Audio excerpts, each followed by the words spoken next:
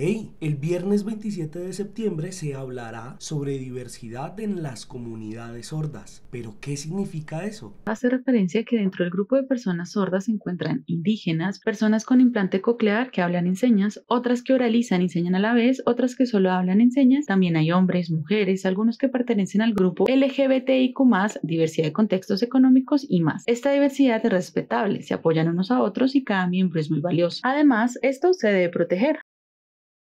Qué interesante. Oye, ¿y el sábado 28 cuál será el tema? Para el día sábado, que es 28, el tema que tendremos es celebraciones culturales de los sordos. Pronto les tendremos un video con más información.